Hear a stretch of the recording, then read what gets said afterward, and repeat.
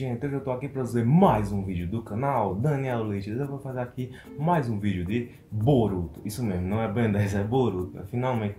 É, então, é, o vídeo de hoje, né, não será um vídeo normal. Assim, será um vídeo normal, só que é, normalmente, né, os roteiros aí eu, eu, faço, eu e o, o Zokai, né, e tudo, mas dessa vez o roteiro desse vídeo foi feito por, sugerido pelo meu colega de sala, né, Michael Alequim.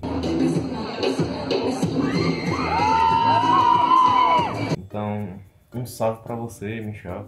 É, valeu aí pela ideia, né? E tipo, ele pediu para eu fazer um vídeo falando sobre é, a análise da história do personagem Mitsuki, né? De Boruto.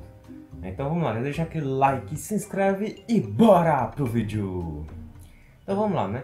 O Mitsuki todo mundo praticamente já conhece, quem assiste Boruto, né? Ele é o filho do Orochimaru, né? No qual o Orochimaru fez ele é, numa das suas experiências né, no laboratório, é como tipo um humano sintético, né, praticamente assim, e tudo, no qual é, foi mostrado no episódio flashback, né, que o Orochimaru é, fez dois, né, assim, existem muito, vários míticos, né, tem um episódio que ele mostra que no laboratório dele tem vários míticos, né, mas é, foi mostrado um adulto e o segundo é o que a gente conhece, né, o primeiro, né, o adulto, vamos chamar ele de Mitsuki Prime e o segundo de New Mitsuki, né? Novo Mitsuki, enfim. Mas vamos lá, né? Tipo, o Mitsuki, né? O Prime, né? Mitsuki Prime, ele tava meio que disfarçado, né? Foi mostrado nesse episódio, né? O episódio flashback que mostra o, o passado do Mitsuki, né? Foi mostrado que ele tava disfarçado lá, né? E tudo. E aí ele pediu pro Neil Mitsuki pra ir atrás de um pergaminho, né? E aí ao achar esse pergaminho, ele vê quem? Boruto, né? E lá ele dizer que Boruto devia ser seu sol. Por isso que o Mitsuki tem esse, o Neil Mitsuki, né, tem esse papinho de que o Boruto é o sol dele e tudo, né? No qual, ao descobrir, né, que é, toda a história, né, que o Orochimaru criou ele, não sei o que, e o Mitsuki Prime também era, tipo, ele só que antes, né, foi o primeiro Mitsuki e tudo. Aí ele foi fugiu, né? Ele é, foi atrás do Boruto praticamente, né? Porque ele foi lá para aldeia da Folha, aí é, se matriculou na academia e lá ele ficou ajudando o Boruto, né? Já que ele considerava, ele aprendeu, né? A, a partir do pergaminho que ele era seu sol. Bom, e a partir daí, né? A gente sabe o resto da história, né? Mas é, nas temporadas, nos episódios é, mais recentes, né? nos últimos episódios que foram lançados de Boruto gente vê que o Mitsuki tá diferente, né? Porque ele meio que tá com os pensamentos meio doidos. Por, que, por quê? Ó, ele viu um pintinho nascer, aí veio o nascimento do pintinho, né?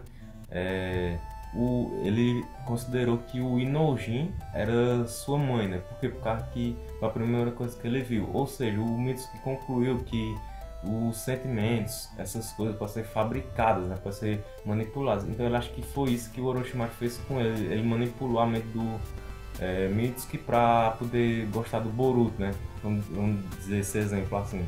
Né? Então é um Mitsuki ele tá, ele é, atualmente ele está numa jornada para descobrir quem ele é, né? E para ajudar isso é ver o CQ, né? Se eu não me engano é assim o nome dele, a pronúncia, no qual ele está ajudando ele. Ele disse, né, que ia levar o Mitsuki para uma pessoa que sabia, né, é, saber dizer quem ele era, né? E assim, eu, eu acho que eu não vou querer dizer o nome dele não, mas eu vou dizer mesmo assim. É porque assim, você sabe que é, Boruto é um anime, né? Ou seja, desenho japonês. E lá no Japão os nomes são meio esquisitos mesmo. Mas vamos lá. O CQ e levar o Mitsuki pra o cu.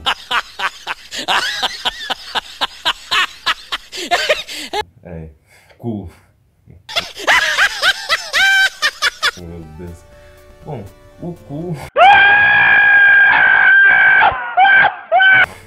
É, sei, é estranho.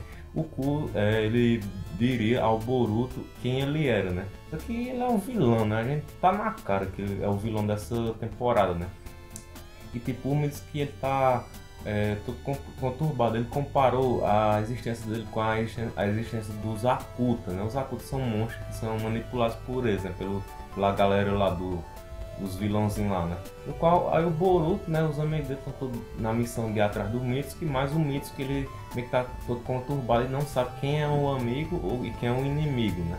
Aí por isso que teve um episódio que ele atacou o Boruto, né? Ele deu um right on nele, né? Porque ele não sabe ao certo é, quem é amigo quem é inimigo, então todo diferentão. Bom, então é essa, né? A análise da história, né? Do Boruto, do Boruto não, do Mitsuki é, até agora, né? Então, é, mas antes de terminar, vamos fazer uma, análise do personagem também. Bom, o Mitsuki, né? A gente viu nos primeiros episódios que ele é um personagem meio tipo, inocente, né? Ele pode ser manipulado facilmente, tanto que, tipo, ele tentou matar o Iwab, né? Ele tentou matar o Iwab, só que, tipo, se, se, o Boruto tivesse parado, ele tinha matado, né? Porque ele não tem essa noção de que matar é errado essas coisas. Então, ele tem isso, né? Além que ele é um dos genins mais fortes de todos, né? Ele pode usar o modo Senin, né? Que foi mostrado em, em, em poucos episódios aí do anime. E também ele tem os poderes do Orochimaru, né? Cobra, se esticar e pode controlar o elemento raio e o estilo vento, né? Então é isso, né, galera? Esse foi o vídeo, né? Análise aí rápido do Mitsuki. É, foi uma sugestão, como eu disse, do meu amigo Michel. Então valeu aí, Michel. De boa, cara. É, ele disse que só, só gosta do Boruto, né? só gosta de assistir Boruto por causa do Mitsuki, porque ele acha ele um personagem muito interessante. Né? E eu também acho, né? O Mitsuki é um personagem bem legal para a história do anime. Então é isso, né, galera? Esse foi o vídeo, espero que vocês tenham gostado. Se gostar, deixar aquele like, se inscreva no canal se não for inscrito, compartilhe esse vídeo com seus amigos, assine os favoritos e ative o sininho aí embaixo para receber as novas notificações, beleza? É isso, falou e tchau!